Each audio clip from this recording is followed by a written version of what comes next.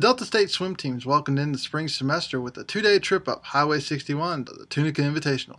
The teams came off a week long training trip in Florida, and it paid off, taking the overall victory as well as having career days from Rebekah Napier Jameson, Stephanie Gonzalez, and William Iles. Napier Jameson, a freshman from South Africa, set a lifetime personal best in the 1000 free. Uh, well, I was really happy with all my swims today because they were all uh, the best times for the season. And I was really happy with the 1000 because it was hurting pretty bad. And I think I did pretty well, so I'm happy with it. Because the training trip was really hard and we all put in a lot of effort. And I think it's really positive that I've come down. And I think it's really good for in the future that perhaps I could go even faster. For junior Stephanie Gonzalez, the Tunica meet was a culmination of a lot of hard work, paying off as she dropped a few lifetime best times. Oh, I've had such a big struggle in college because I got injured my senior year in high school and I had to stop swimming for about 10 months.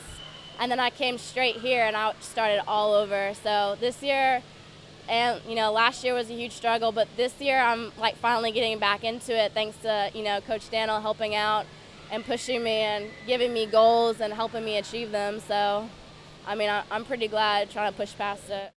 On the men's side, sophomore William Iles had a career weekend to lead the Statesmen. He picked up two individual wins in the meet, as well as being a part of two wins in relay events. Uh, my individual was my best in-season swim for the 50, so I'm pretty happy with that. Uh, I kind of wish I had my teammate Yvonne beside me, but we'll do it again some other time. Coach Daniel Murray changed things up for the Tunica Invitational, giving some swimmers chances to participate in different events than normal. It's nice to get out and see what you can do in other events. And some of us prefer to do other strokes, but we just happen to be better at other events. But this, this meet is kind of a chance for us to get out there and see what we can do. There is a competitiveness right now among the team members that is really fueling the run. I think it's really good because everyone's always pushing each other and we're always getting better.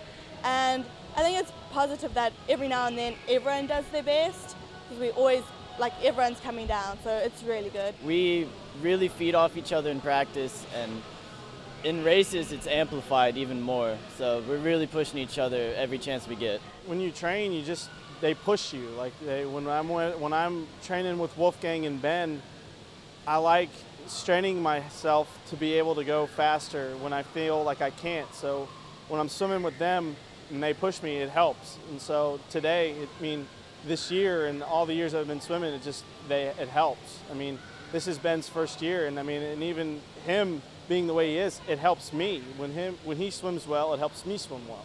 So the attitude catches. At the same time, there is a competitive vibe between the team members. There's also a strong bond forming, a family bond. Oh, it's so much fun to see that. I love it. That's my favorite thing to see. So I hope we see it more and more of these meets, and I mean, it's it's come a long way, and I really like it. Well, last year it it was hard for us. We weren't really a family, but coming into it this year, we're so close. We're all brothers and sisters, and doing things like jumping off the board and our cheers, and even this training trip we went on. We're all really close, and it's pushing us. I mean, it's always a good thing because you're never by yourself. Like swimming, you swim it individually because you have your individual races, but then you have your team to fall back on. So if anything ever goes wrong or if anything goes good, you always have your team there to, you know, pump you up, get you excited, and it's just always a fun situation. And you know, you have some extremely funny people on this team. The Statesmen and Lady Statesmen will look to continue the run that has carried them through the break. The team will host Ouachita Baptist in a dual meet this Saturday, looking for a little revenge from their meet earlier this season in Arkadelphia. Those meets are going to be real good for us. We're so excited for them. We lost OBU by one point last time, and it's going to be real exciting.